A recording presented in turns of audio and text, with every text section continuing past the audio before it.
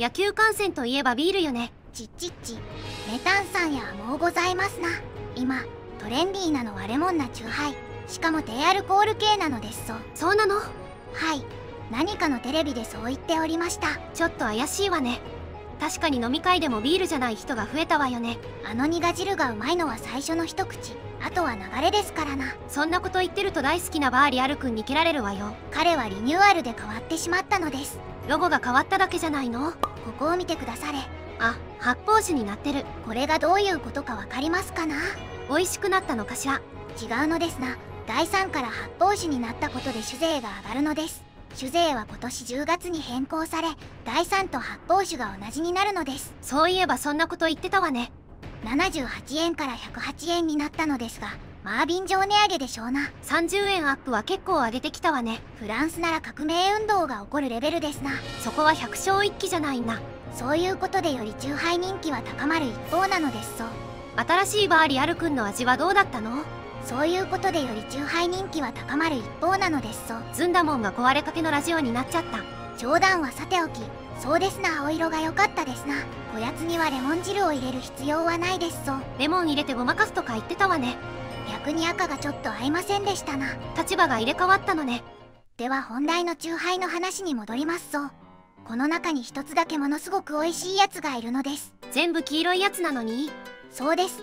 黄色いやつの中にも怪物がいたのですな。サイズは違いますがどれも 350ml85 円くらいのものですそう作ってるのはビッグマンでおなじみ合同姿勢株式会社さんね。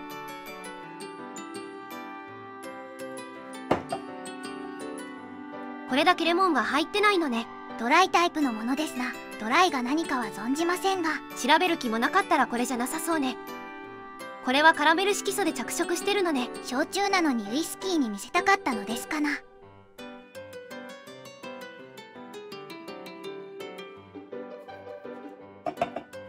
最後が 500ml 缶。デザインがシュッとしてるわね。黄色を押し出すことでうまくトップバリューロゴの違和感を消しておりますなどの商品でも黄色のあのロゴは目立つものね。すべてビッグマンの会社が作っております。信頼があるってことなのかしら。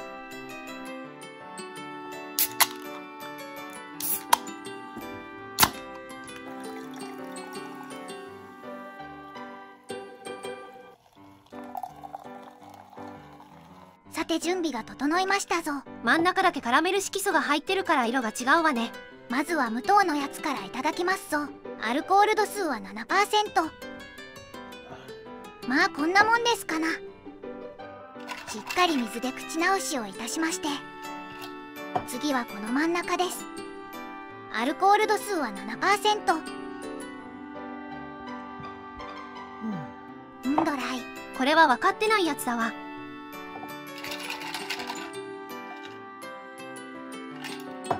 最後に一番左アルコール度数は5%ですそう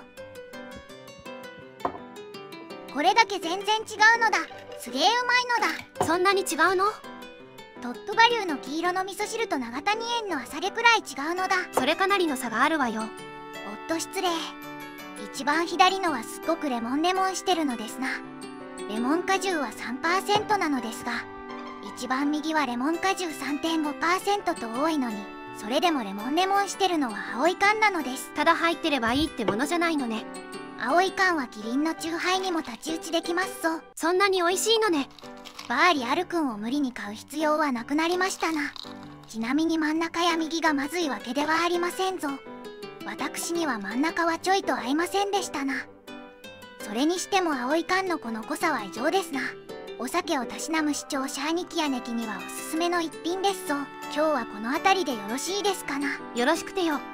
それでは皆さんごきげんよう